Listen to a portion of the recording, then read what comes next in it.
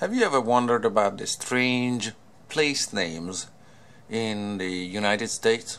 Here is an alternative map produced by, I just see it's on my desk here, produced and published by those people, the Museum of Cherokee Indian, Cherokee, North Carolina, and the artist at the bottom you can see Jennifer K. Smith or something like that, Jennifer something Smith. Alright, so uh, we're gonna read this map so you can see some of the uh, some of the connections. Alright, let's start. How about we start here? Alright, uh, this the spelling on some of this uh, it's, it's really easy to uh, read this one in this spelling format. Okay, for example, here is Algonquin. It's spelled that way there, but on the same map it's spelled that way with a Q U in it. Alright, so there are spelling variations okay? This is not a crash course in uh, American history or anything like that but just to uh, uh, just to get you some links between geography and geography today and geographical place names and past okay? So uh, that one just reads Mi'kmaq uh, and it's Abenaki okay Massachusetts. Okay, that's still that's still around. That's where that place is named after. There's Mohawk. If you're wondering about a haircut, that's that's what that is. Mohawk is a name of an Aboriginal group there. There's Mohicans. The last of the Mohicans know they're still alive and happy and uh, live around. Some of them have these strange French spelling because this was French North America so with with Q U in it like uh, Algonquin had a different spelling so is Iroquois. Let me see what do we have there? Seneca there's Delaware.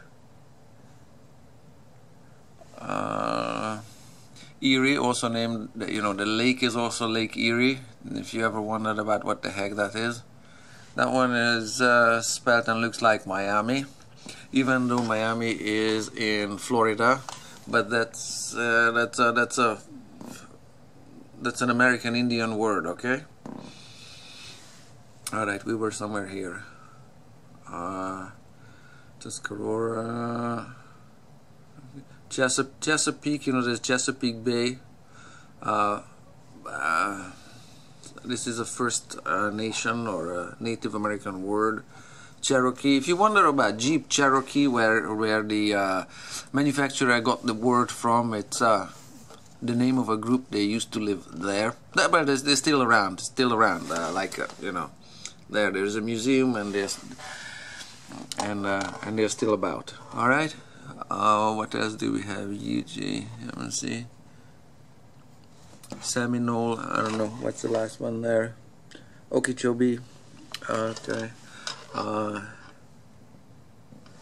Biloxi. There's a there's a place name that that also appears uh, that's still that's still around. Uh, Chickasaw. Let me see. Osage. There's a tree. If you ever wondered about what the heck an Osage orange is, it's a tree with a strange fruit. A fruit looks like orange, a little bit wrinkled, or it has an interesting texture on the skin. Osage orange. There. So Osage is a uh, uh, First Nation let me see Wichita uh, what else do we have here? Apache, Comanche uh, Apache you might come across fairly frequently. Comanche there's a helicopter named after Comanche. That one is Kiowa.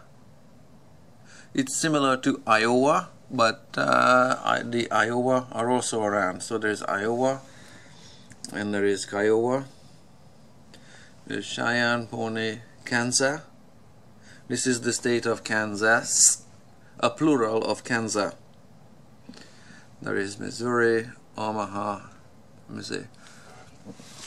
Illinois, the state of Illinois, it's a French with a silent S. Alright, a French word. Uh, let me see. Oh, sorry, I forgot to mention this one here. Uh, Appalachia the Appalachian mountain range running uh, yonder is named after it's also a First Nation word Appalachia Okay, where was I?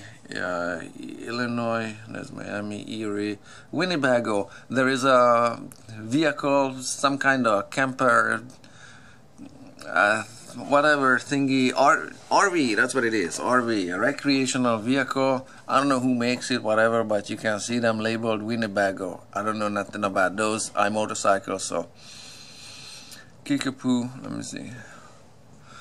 Algonquin, let me see. I'm just Cree, we got lots of Crees and uh, Jibois and uh, okay let me see the Blackfoot what else is in Canada here uh, yeah the Kootenays uh, that's yeah that's one spelling variant Kootenay uh, Chilcotin yeah this one this map uh, has a fair amount of oversimplification this one also says Nootka on the Vancouver Island and Salish, it says Salishan tribes. Uh, these are Salish, Coast Salish people, uh, including uh, Haida, Haisla, and there are lots of little subgroups in it. I live around here. Chinook, that's also a wind that is uh, in the Pacific, uh, in the Pacific mountains here, and it's a warm wind that goes down, runs down to the plains, and uh, brings melting and widespread mayhem. So that's a Chinook, uh, a wind. Let me see, flat. Nez Perce, another French word. Yakina. Those those words are still around, you know, in counties. Counties are named this way. Let's see. Mm, let's see.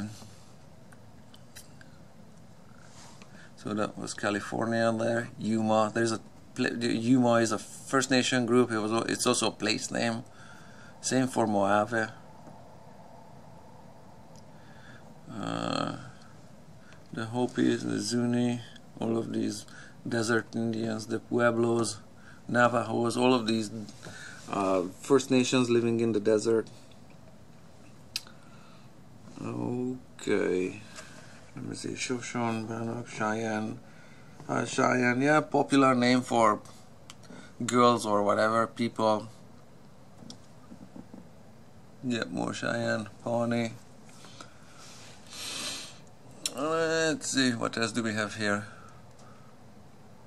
Yeah, we looked at Blackfoot, as cinema, Dakota. Dakota also runs as L with an L, Lakota so and then yeah that's pretty much we are done with this map alright so there's a couple of spelling variations and just you, if you want to read this this is what's on it you know. You can freeze the frame and read it and there is one more little text there. You can freeze the frame and read it. And there's a last little bit of text there and there. So so that's what the map is looking like and uh, and if you wonder about uh, these place names so there's a little bit of connection between the people who actually live there and the place names that are still used used or in use today. So there you have it